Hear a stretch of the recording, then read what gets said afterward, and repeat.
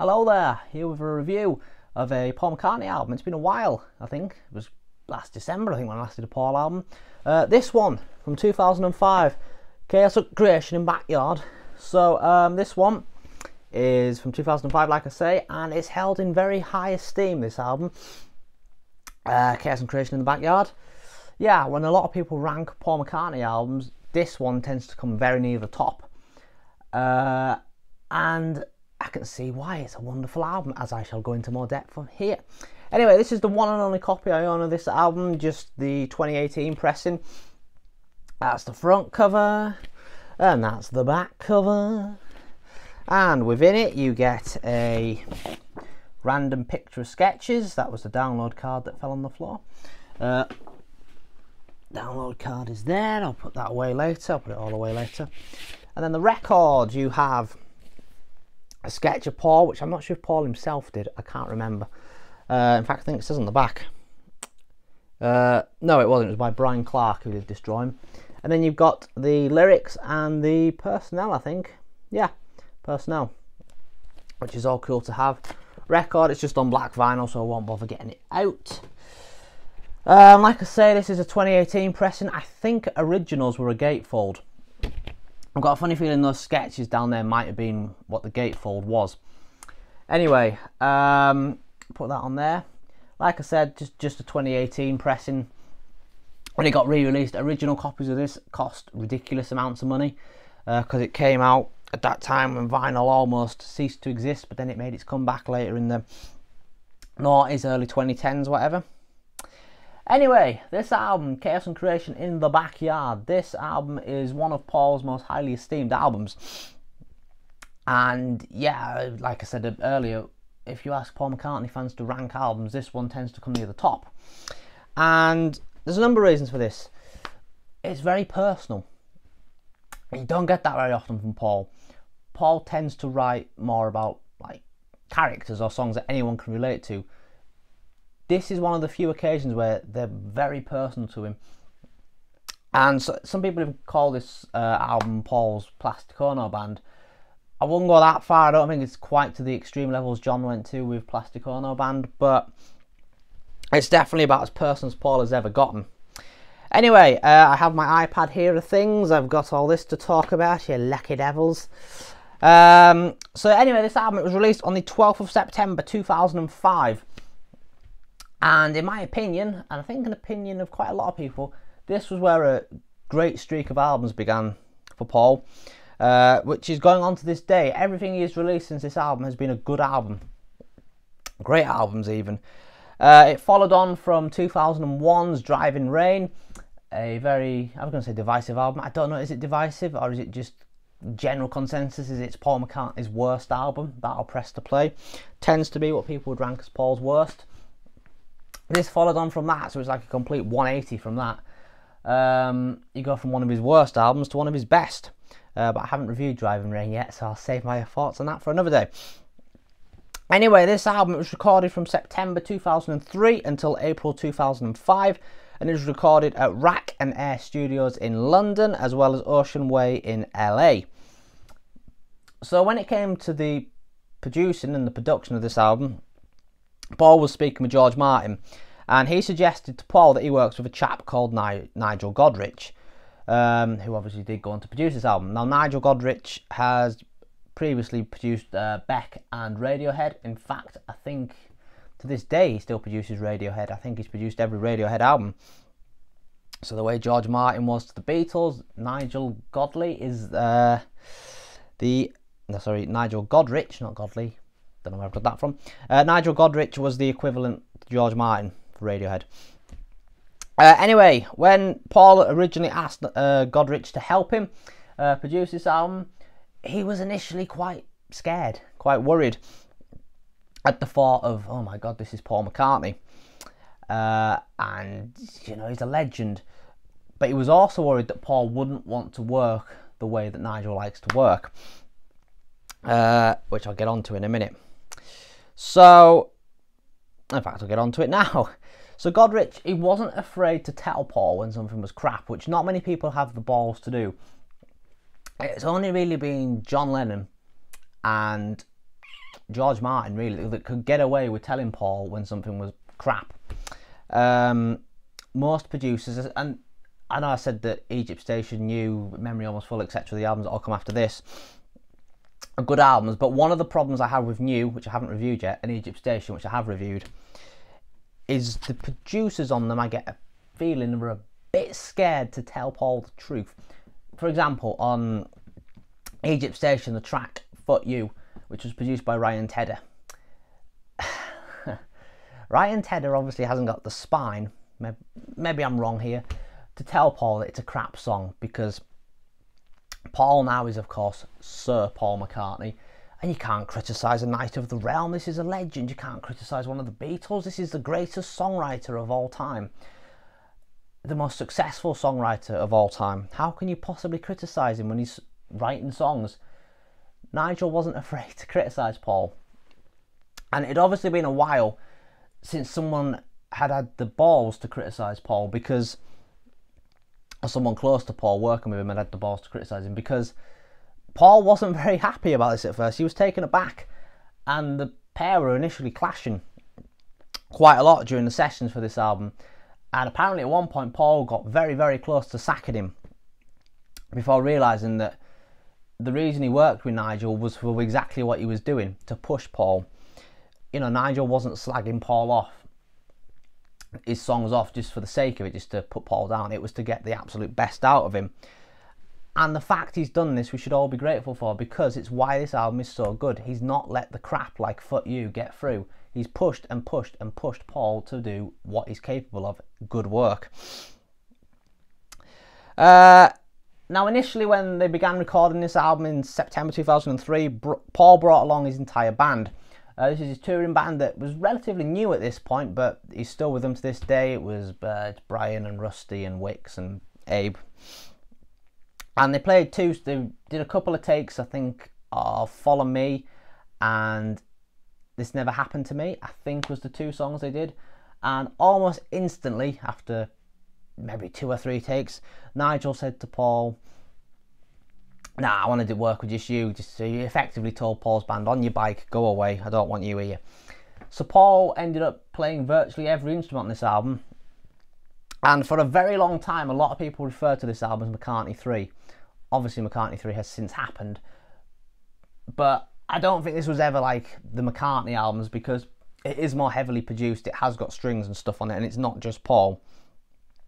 But it is in the same vein of the McCartney albums in the fact that Paul plays all the instruments all the you know virtually all the guitars, all the drums, all the bass, etc. Piano is all from him. Obviously, the strings haven't come from him, but yeah, it just goes to show his talent. Uh, so I think that's all in terms of the recording I've got to say. But like I said, this is a very personal album for Paul. It's not something he's done very often, if at all. Before this, uh, he's maybe done the odd tune here and there, something like here today. But in terms of a whole album and stuff like that, never. Uh, but at this point in his life, Paul was going through quite a turbulent period, uh, especially during these sessions because it was sort of early on in these session when they first started. His marriage to the delightful Heather Mills was sort of just new. It was just getting going. As this album was wrapping up towards the end, it was falling apart. So it's kind of a bit all over the place. This album, you've got Paul, in some senses, quite happy and then you've got other bits where he seems quite down in the dumps, which is probably because his marriage was breaking down. Plus, I don't think at this point he probably fully gotten over Linda. I imagine he was still grieving Linda, so that probably uh, gets itself into the theme why Paul sounds sad in places. And I'm not 100% sure, but I can't remember if during the time he was married to Heather, if he had quite not all of his kids, but quite a difficult relationship with some of them, I think him and James, his only son, uh, fell out while he was married to Heather, and they didn't have any contact. So I imagine that'll have been playing on his mind as well. So yeah, it was definitely a tricky period in Paul's life. Probably one of the trickiest periods he'll ever have been through. And to be fair, the guy has been through quite a lot of trauma when you think about it. Uh, and yet he's still carrying on making great music. Anyway, the artwork. This photo of Paul is obviously not from 2005. This is from 1962. It's quite a famous photo taken by his brother Mike McCartney. And the title of this is proper northern name. This uh, the photo is called "Our Kid Through Mum's Net Curtains." I love that.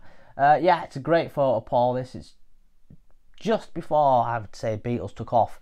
It's probably not long before they first released "Love Me Do," but it's just very intimate. It's just him in his back say backyard. I call that more of a back garden, to be honest. Uh, playing his acoustic guitar. Obviously unaware that this photo was being taken by Mike. Yeah, great photo. Really works well as, the, as an album cover. Uh, there was three singles released from this album: Fine Line, Jenny Wren, and uh, This Never Happened Before. But I think This Never Happened Before was only a single in America. Maybe I might be wrong. But in terms of the singles uh, here in the UK, Fine Line reached number 20 in the charts and Jenny Wren reached number 22, which is pretty good going. You know, Paul in 2005 is still getting songs in the top 40. Obviously, in the 70s, he was getting them in the top five, number one most of the time. But, you know, that, that long, well, say not that long ago, it's 20 years ago nearly now. But he was still getting in the singles charts. So these might be some of the last singles he actually got in the singles charts. Anyway, uh, to promote this album, Paul held a concert at Abbey Road called Chaos and Creation at Abbey Road. It was on YouTube for a very long time. I assume it's still there. Uh, if you can, I highly recommend watching it. He plays a lot of the songs from this album live. He plays Beatles songs live, I think, as well, if I remember right. Uh, very good concert that.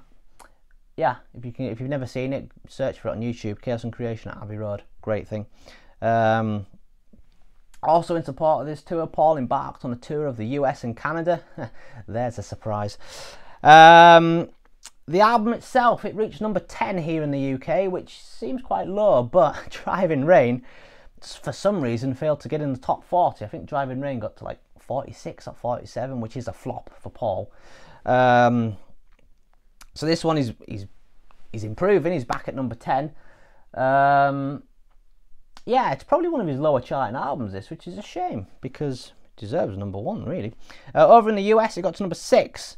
Um, yeah, I think the tour in America probably helped it get a bit higher over there. Uh, critically, this album was very well received by the critics, and it was considered surprising to a lot of them because it was very intimate and reflective, which is unusual for Paul. Uh, and it was obviously very well received because the album was nominated for at the Grammys for Album of the Year. I think it was also I think Nigel got himself Nigel Godrich got himself nominated for Producer of the Year. Yeah, I think Paul even got nominated for Best Pop Vocals, Male Pop Vocals or something. Didn't win any of these, but it was nominated. Um, obviously, this was the first album Paul released uh, after turning 60, so he was now in his 60s and his voice, yeah, all right, at parts it is now starting to show its age. It's not quite to the point where I think if you listen to certain tracks of more recent albums like McCartney 3, uh, I don't really think there's anything on this album where you would think, oh god, he's struggling to sing that. There's just a few occasions where you'll think, oh, if he was a little younger, he'd probably hit that note a bit better. But I wouldn't argue he can't sing on this album, put it that way. Not that I would say he can't sing now. I'm digging a hole here. So we're going to go into the track by track review of this wonderful piece of music. Uh, right, it opens with the opening track, then the lead single, Fine Line. Not that one, by Harry Styles. This was the one first. Um, this song is about the only rocker on the album. If you are a fan of rockers, this isn't the album for you because this is about all you're getting. There's maybe a song later on in the album which I'll come to, which you could also class as a rocker. But yeah, this one is about the only definite rocker. But I love this song, it's fun. And this album, for the most part, is a se quite serious album. So this is a welcome little bit of fun. Uh, the harmonies on this, are very good, especially on the Come On, uh, what is it? Come, come Home Brother, All Is Forgiven, We All Cried When You Were Driven Away. That bit when Paul's harmonising with himself, brilliant. Guys, yeah. It's a piano driven tune as well. Uh, the piano does seem to drive quite a lot of the songs on this album, actually yeah, um, Paul is just very good at this sort of song. He always has been. Uh, technically, this is the title track because it includes the lyric Chaos and Creation. I think it, the lyric is There is a long way between chaos and creation if you don't say which one of these you're going to choose. I think that's the lyric. So that is technically meaning this is the title track. The strings as well. This song has strings on it which are very striking. They're very jarring. It's kind of Eleanor Rigby sort of style of strings. Um, yeah, that sort of slasher shower scene sort of thing. Very striking, that sort of thing. Uh, Paul plays virtually every instrument on this track as well, which, you know, what a talent. We knew that already, but what a talent. Anyway, if you've enjoyed that upbeat rocker, that, that's it. Now it's time to chill out and enjoy the downbeat stuff.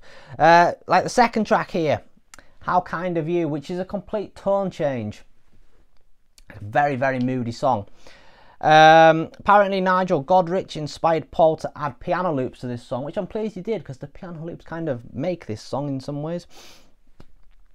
Now, I've wrote here that this seems to be a love song, but it also has a it also sounds a bit sarcastic. It's maybe just me misunderstanding this, and I think Paula said this is about Heather and how she helped him through uh, Linda's death and whatever. But although I don't think he was fully over it by this point.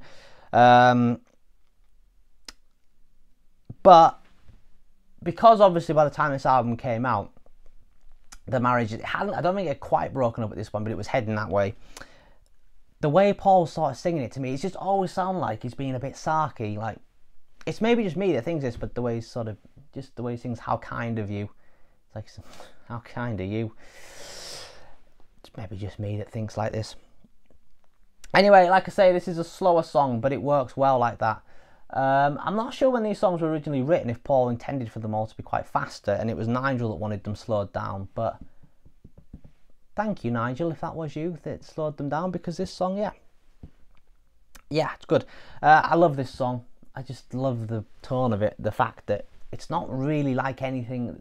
This is going to be a common trend in this review. It's not like anything else Paul has ever really done. This song.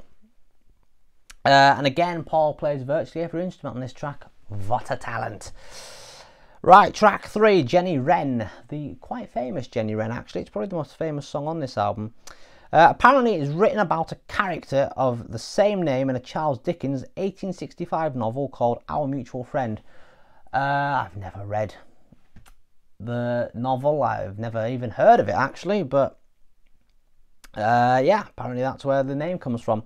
So in terms of the song itself, the style of it is very similar to Blackbird and Calico Skies in the way that Paul is playing a finger picking style on an acoustic guitar. Uh, I'm not saying it's in the league of those songs, although some people will argue it is. Uh, it is also the first song in pop music history to feature a duduk, I think is how you pronounce it, which plays a little solo in the middle. It's a wooden sort of uh, wind instrument which I don't know how often it's been used since, but this is the first time it's ever used. And it's quite nice actually. Yeah. Uh, a lot of people consider this a modern day McCartney classic. Um, I'm sure I watched a video from Justin Hawkins, who's in, uh, oh god, I've forgotten what band he's in. He's now become a YouTuber, Justin Hawkins, uh, where he's on about McCartney songs and his favourite McCartney songs, and most of them are from like the 60s and the 70s. And then he goes complete left field and picks this song. So yeah, it's obviously uh, got quite a bit of a cult following. This song. Um, a wren itself is apparently one of Paul's favourite birds, the wing type.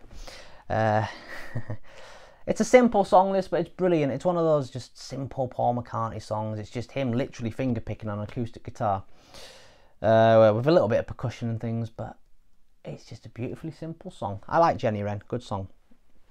Right, track four, At the Mercy. I've never been massively into this song. I've never massively cared for it, if I'm honest.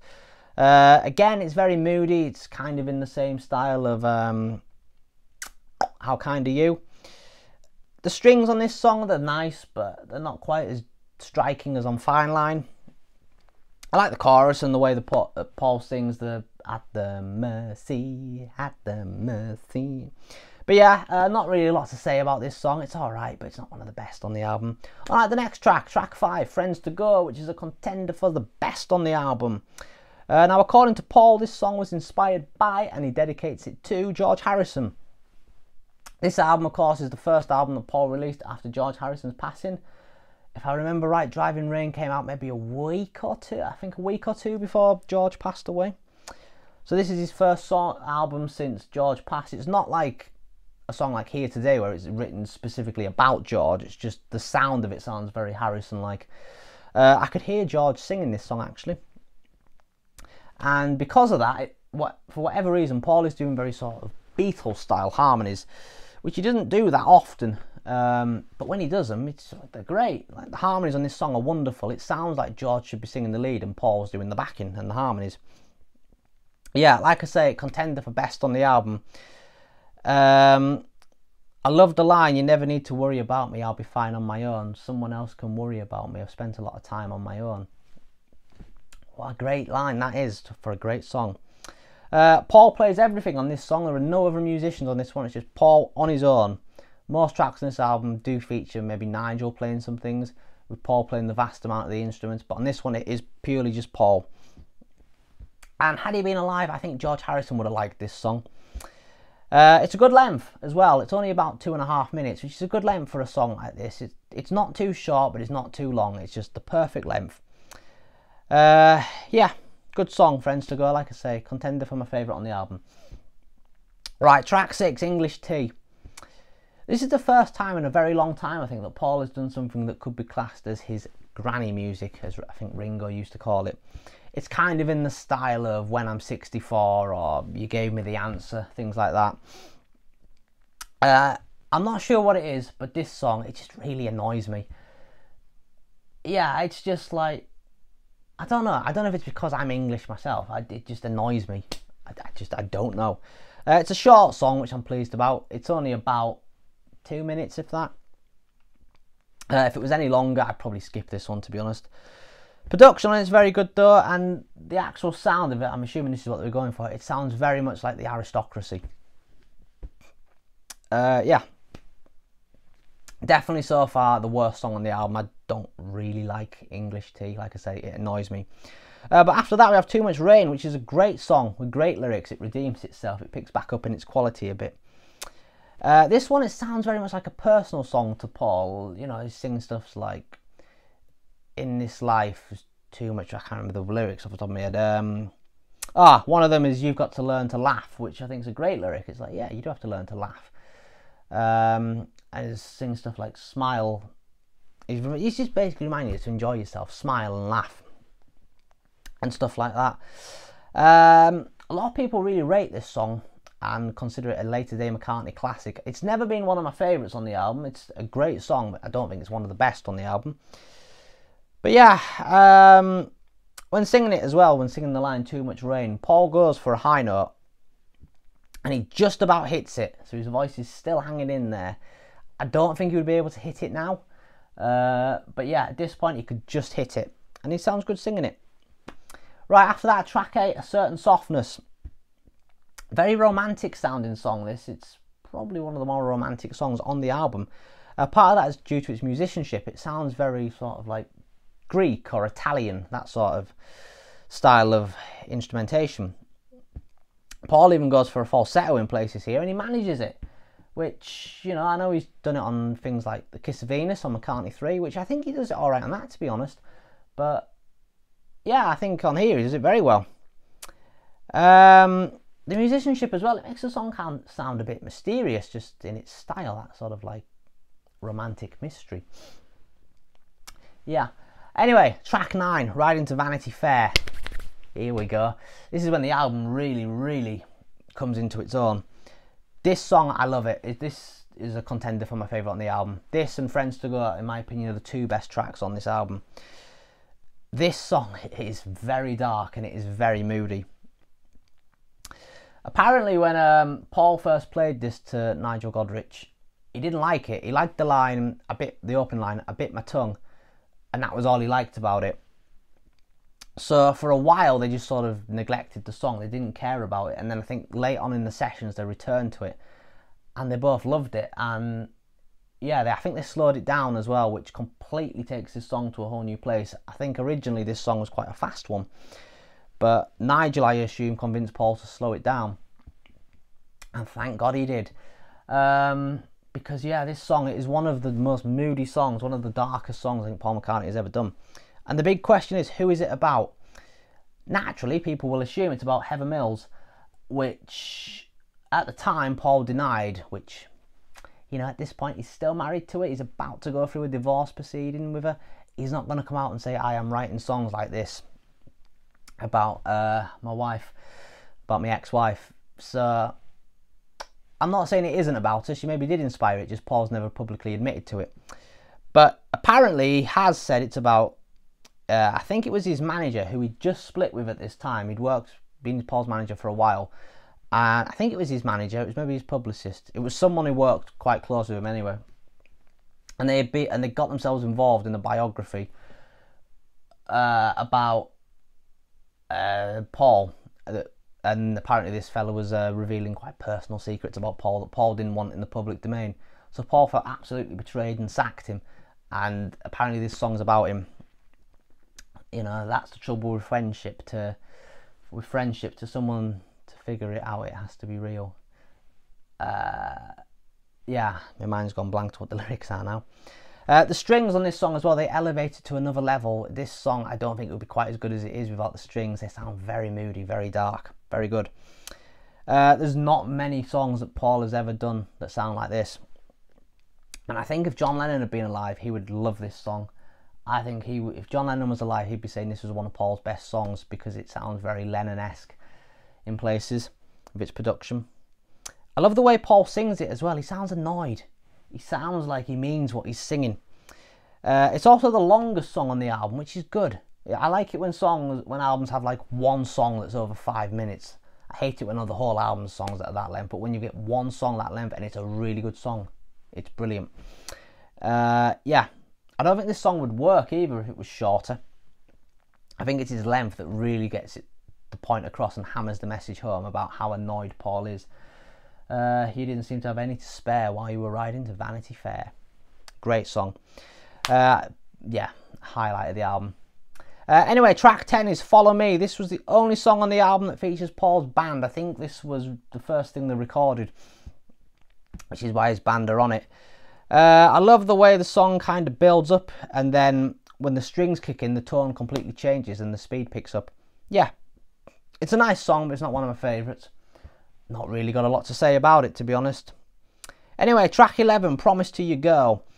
This starts off as a kind of slow piano ballad where Paul's singing about looking through the backyard of his life.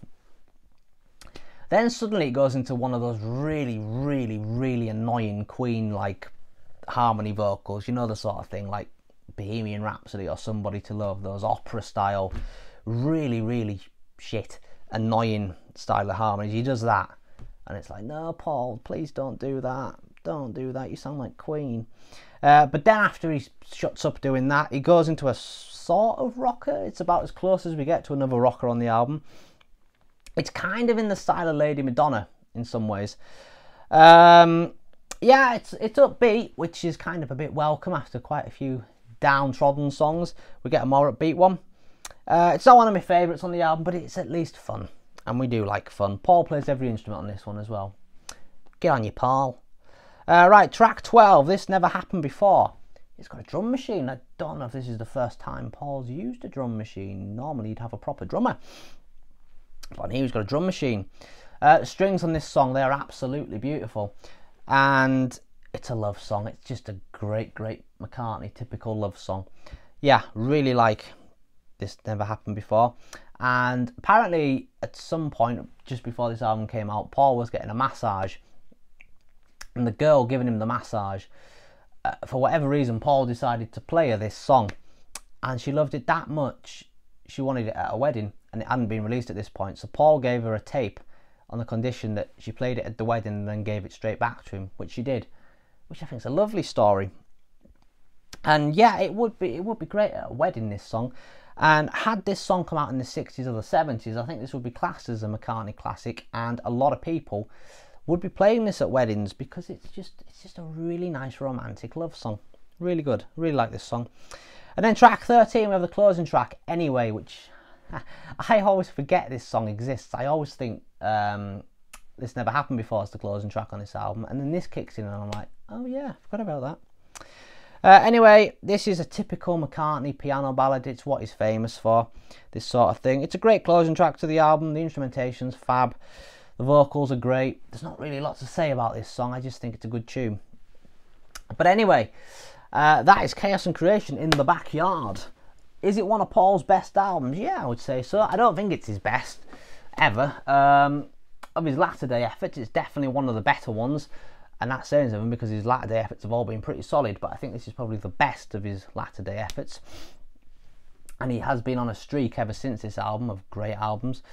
But yeah, it is definitely the most personal album he's ever done. You can tell in places he's annoyed, he's hurting at this point in his life. And if you've never heard this album, I highly recommend listening to, especially Friends to Go and Riding to Vanity Fair. I mean, Riding to Vanity Fair, I've listened to that song a lot recently because there's people in my life who I could um, dedicate that song to. But anyway, uh, for now, that is all I've got to say, I think, about this album.